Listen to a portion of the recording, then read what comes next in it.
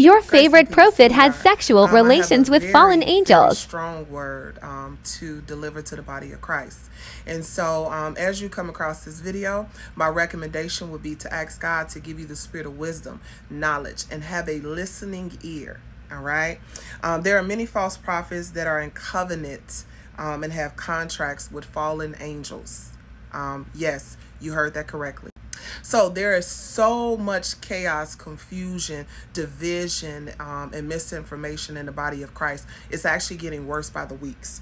Um, and so there's so many people um, that have major platforms that have actually they are extremely wealthy they are very influential and many people are falling for their foolishness blindly okay when they make these pacts um, they do expose satan's agenda all right. Now, I'm going to say this. All right. And I don't speak on a lot of celebrities, but I'm going to use Jaguar Wright.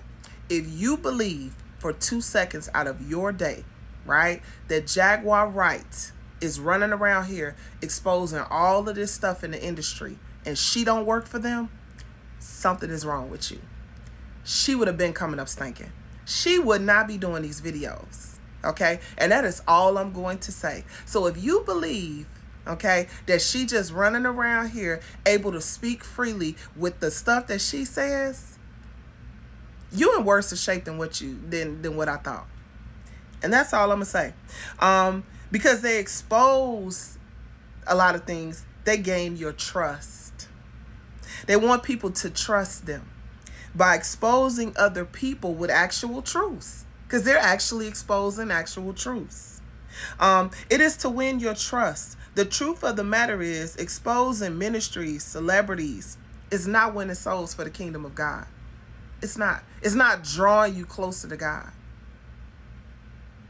Satan knows the average person that proclaims to have a relationship with Christ will not legitimately go to God in spirit and in truth and find the real answers.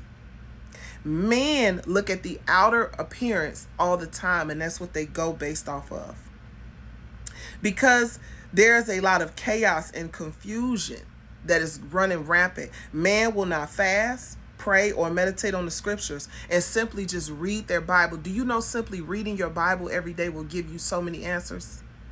Um, it is easy to win the trust of lukewarm, bound, afflicted, lazy Christians, which is 95% of the Christians that we encounter, even your favorite leaders. Your favorite leader is not even reading the word of God every day. There's a rise of false prophets that are partnering with fallen angels and deities to get accurate revelation, both men and women. Fallen angels, though, they do not come in covenant with everybody. They actually do not sleep with everybody because that is part of the agreement. Um, I did a whole playlist. It's titled Exposing Satan's Kids. One of the ladies, um, she was, I believe her name was Aisha or something along that line. She made a pact with a demon she was having sex with this demon. Um, she exposed this and then she retracted her statement. All right. I also exposed another couple. Um, they were of Hispanic they were Hispanic or Spanish, whatever the case may be. I think they were from Mexico. Um, he made a pact with a demon, uh, actually the Grim Reaper. So they come in covenant with these demonic spirits um, and these deities and these fallen angels for power. Okay, this is a real thing. I've exposed it. They've even they even exposed themselves through their own words. Okay. Now let's keep going. Um, they're very selective. One of the things that they must do is have sex with these fallen angels. Um, usually they appear in their bedroom in the middle of the night. The eyes are the gateway to the soul. This is actual Bible. You all need to look into the eyes of these leaders that you are following. I'm being honest with y'all. Um, once they make these pact with the fallen angels, they give them a lot of influence and wealth. The fallen angels give them all kinds of revelations about all kinds of ministries because they really ultimately all work for the devil anyway. The devil is not loyal to anybody, so I don't even know why anybody would want to serve him, but that's another topic for another day. All right, let's keep going. God's mercy um, is actually going to run out. And I wanted to make mention of this because if you all continuously ignore all these red flags and you don't do anything about it, and all of these ministries are being exposed, and you think everybody lying, you think everybody lying? Okay, hold that thought. All right. God is not going to have mercy on you because you continuously ignored him and you decide to follow false people. You can easily go to God about these leaders. You can easily go to God and ask him to show you how your leader looks in the spirit realm. I challenge everyone that stumbles across this video to take Ephesians 5 and 11 in the English Standard Version. I want you to recite that scripture out loud, out loud, four to 500 times. I can assure you God is going to reveal to you who this person is. All you need to do is repeatedly ask. You will get your answers. Judge the things that these people, these false leaders are telling you to repent about. Anyone calling themselves a prophet should be able to detect a witch, warlock, shaman, anybody working magic. A prophet should be able to tell you about your own dreams. A prophet should be able to tell you about the generational curses of molestation, sickness, poverty, death, etc. in your bloodline. Prophets should be able to warn you about people you're married to and dating. Gone are the days of these false prophets telling you to repent for abortions.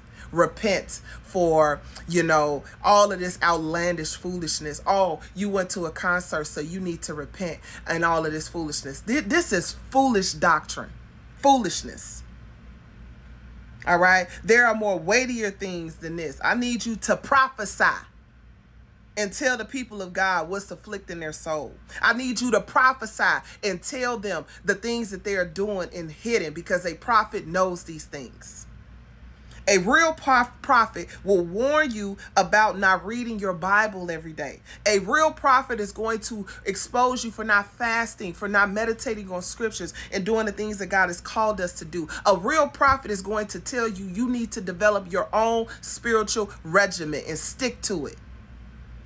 All these people you praise, ask God about what deities, what pacts have they come into agreement with? What devils, what contracts, what fallen angels? Who has these leaders had sex with spiritually in order to get to the level that they're that they're at? Have they gone to Africa? Because that is another huge thing that so many people overlook. Oh my goodness. These false prophets are right in your face.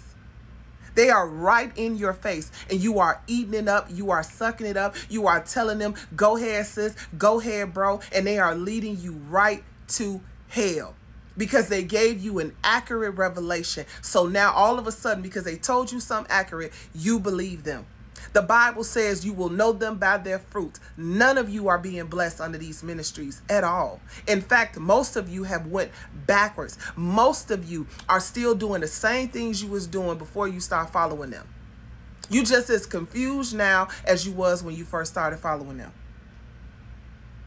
Now, I want to end with this. Every person that watches this video all the way to the end, God wanted me to tell you, you are going to be judged. If you watch this video and you do not take my advice serious and you believe in your heart that you are under a real servant of Christ, then don't even pay this video no attention. This video is for people that have had dreams, that have gotten warnings, that are paying attention to everything that is going on on social media. Because trust and believe me, everybody ain't a liar everybody that's doing exposure videos is not um, from Satan. And that is all I'm going to say about that. There are some legit people that God have given them the unction to come forth and to speak on things. I myself personally have done the same thing. God has not called me to expose ministries, celebrities, and all these types of things because God is more concerned about the souls of his people um, and them actually following him, leading people to Christ and not leading people to a leader.